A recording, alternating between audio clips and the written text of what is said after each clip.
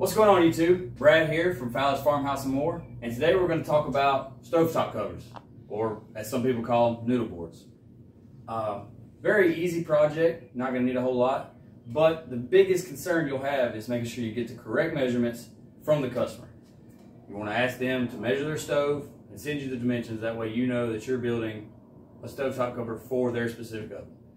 Uh, all you're going to need is this one by three for your handles, uh, a one by six for the actual surface, and then top by two, wood glue, Kreg pocket hole screws, uh, Kreg jig, and of course the handles, and you'll be ready to roll. All right, so the first thing we're gonna do is just cut off this edge, because you don't really know how good it is from the store itself, so we'll cut that off, give us a good straight edge, then we'll start measuring our planks and cutting them.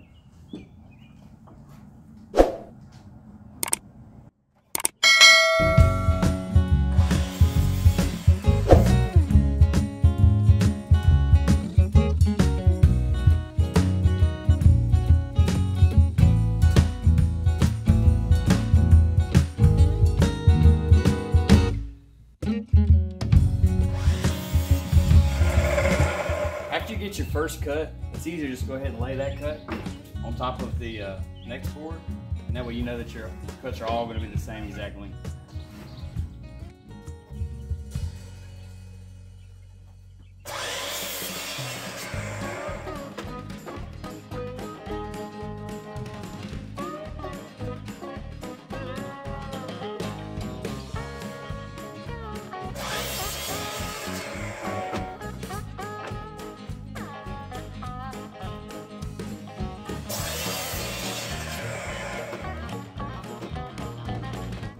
That all your boards are cut, I'm gonna lay them all out together, how our surface is gonna be.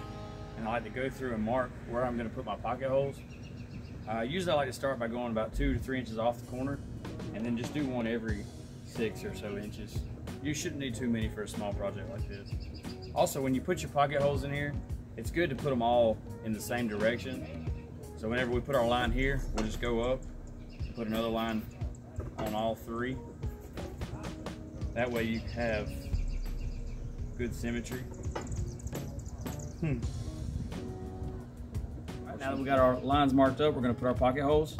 Uh, you go ahead and take your gauge on this that comes with the kit, measure the board. It's closest to a half, so we'll set our settings on here to a half, and then we'll also set our lock collar here to a half. Go ahead and set that on there. Any old clamp will work.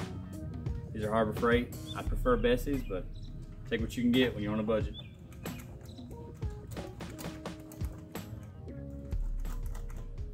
Get that good and snug so it doesn't move. You run your pocket hole. We're gonna do that on all of our boards.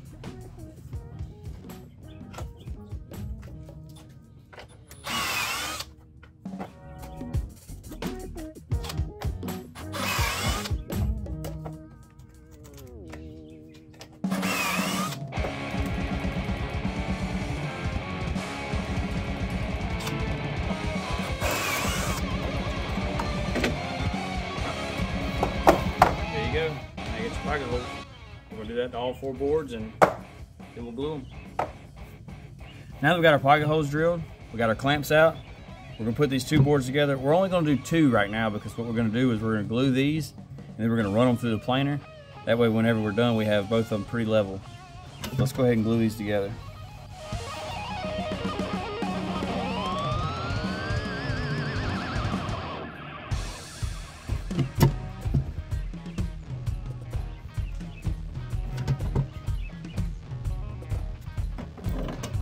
Want to snug it, you don't want to over tighten it.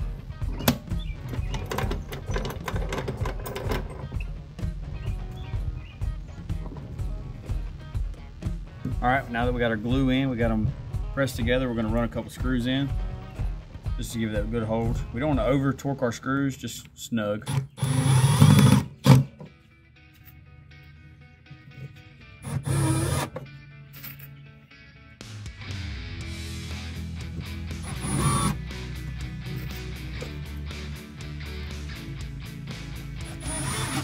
That dry for a minute.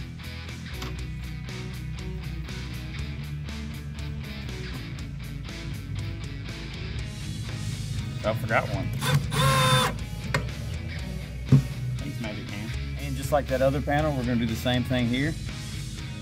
A quick bead of glue. The glue is gonna be doing most of your, your holding. The screws are just for a little reassurance.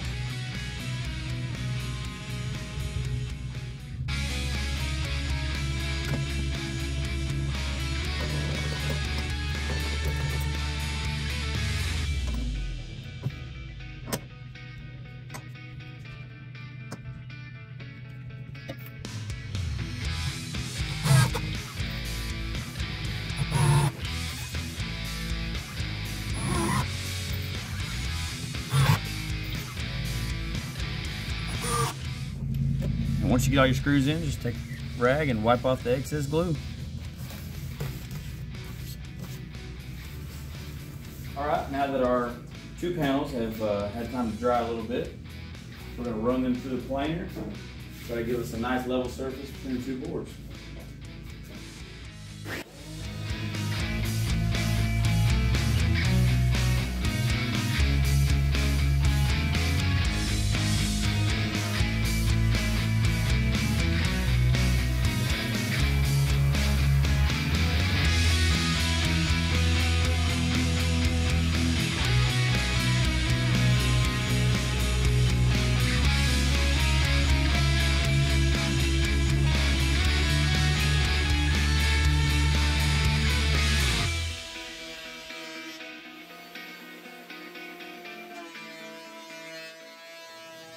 Now you don't necessarily have to have a planer, but it does make life a little bit easier as far as getting the boards the same thickness.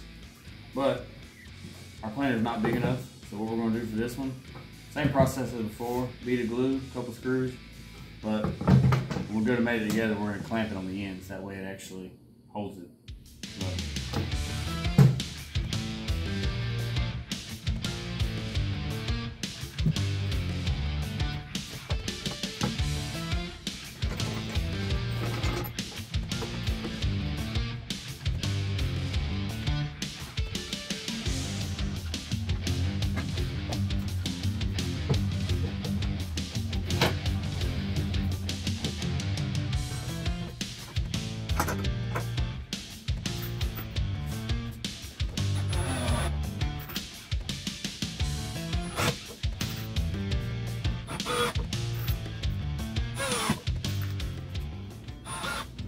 All right, now that we've let our uh, noodle board have some dry time, we've got one solid piece, and we're gonna go to work sanding it.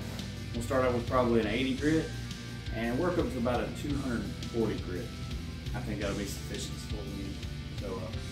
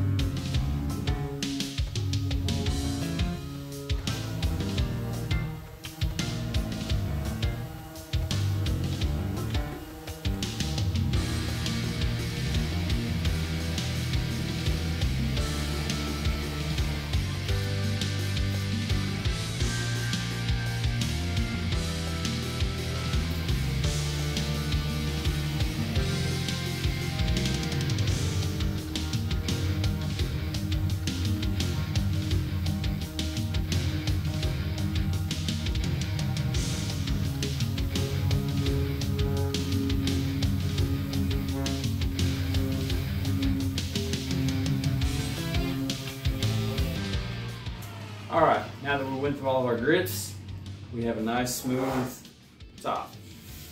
One of the big things you gotta keep in mind though is you did glue these joints. So if you have any glue that squeezed out, you really wanna make sure you get that taken care of.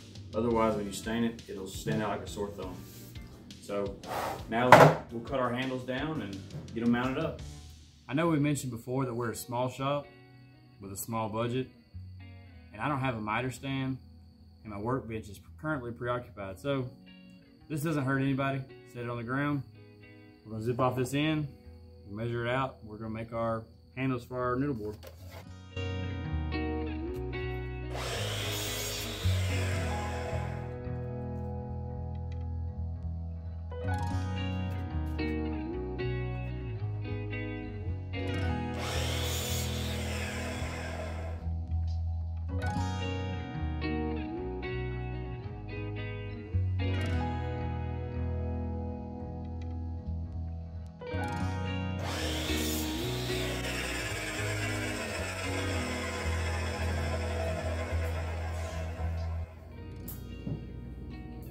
All right, now that we got our handles cut, we're gonna put a little bead of glue on each side, and we're gonna stick them through there and clamp them, and then we'll flip it over and put our screws. Make sure when you're putting glue, you don't put too much. That way you don't have too much squeeze up because you don't wanna have to resand this. Ask me how I know.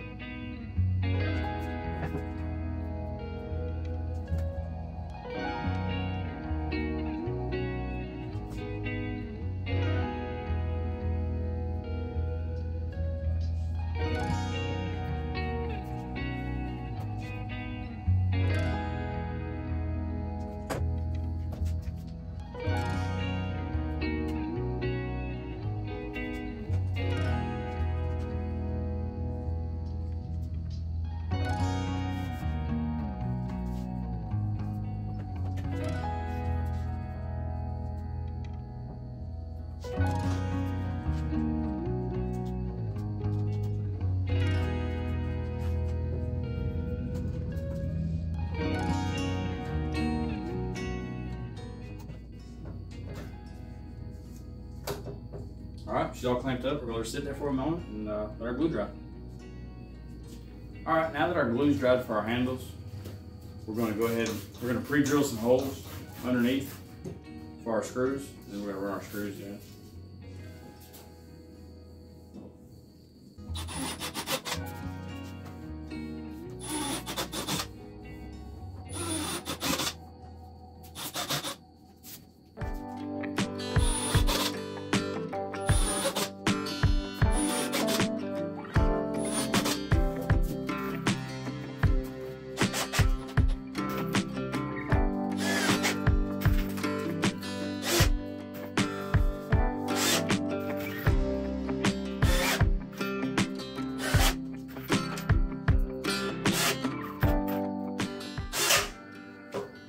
Now all the screws are in, so we're gonna give it a quick sand over and then we'll pass it off to the wife for some stain.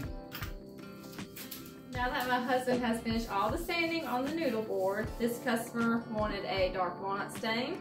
So I'm going to stain the bottom first, and then I'll flip it over and stain the top once the bottom dries.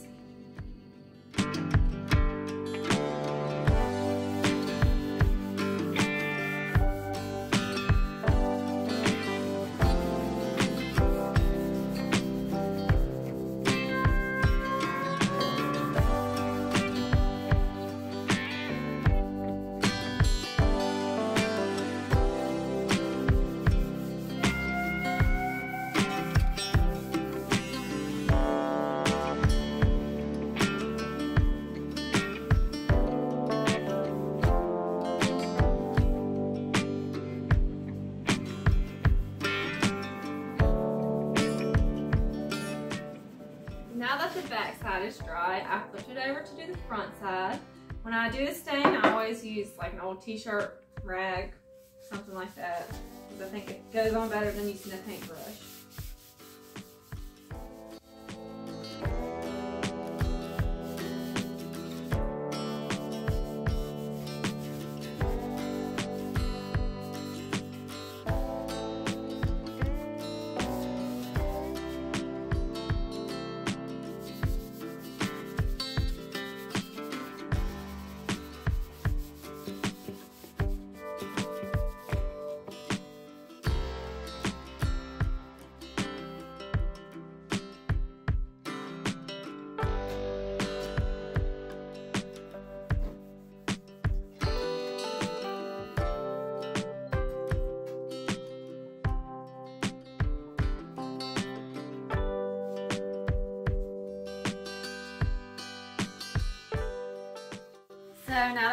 Has dried, I came inside, used my Cricut and cut my stencils.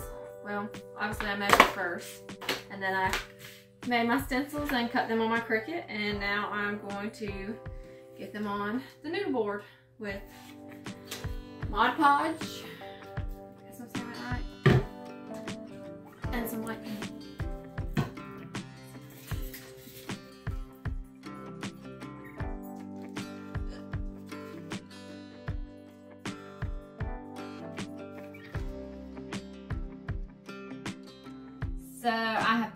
Mod Podge on. The reason I do the Mod Podge before I do the paint is so that way it keeps it from bleeding through my stencil. So now that it's dry, I will add my paint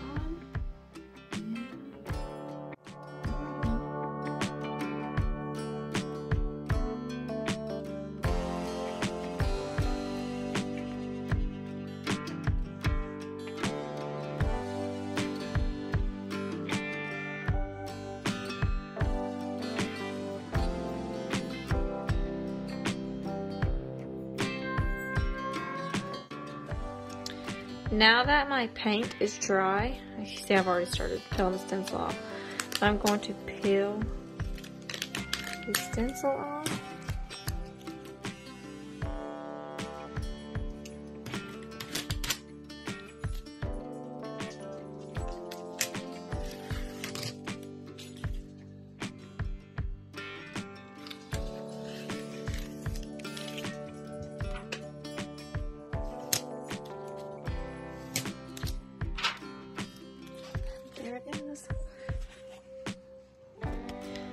Now that I have peeled my stencil off of my S and my leaf design, I have added the second stencil that the customer wants on their noodle board. I have put my Mod Podge on there and I will let it dry and then I will add the paint to it. So now that the paint is dry on the noodle board, I'm going to do some spray poly on the noodle board.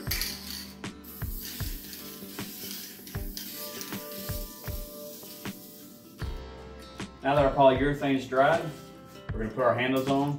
So far we've measured out. We got them centered. So we're just gonna take our screws and go ahead and install.